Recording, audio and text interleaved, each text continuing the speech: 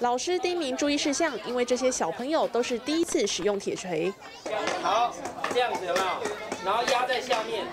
压在你要的位置上面，抹上白胶固定木头，再把彩色木板放上去，打造心中的理想椅子。很多家长都带着小朋友一起来体验。小孩子也没有拿过铁锤啊、钉子，大家尝试一下，是还不错。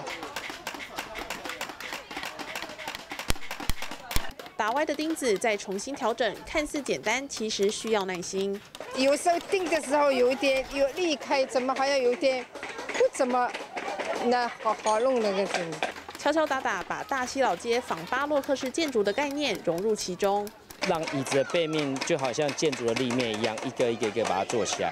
然后我们用那郭小就是废弃的椅子，就是来运用，等于是有倡倡导一些环保再利用的概念。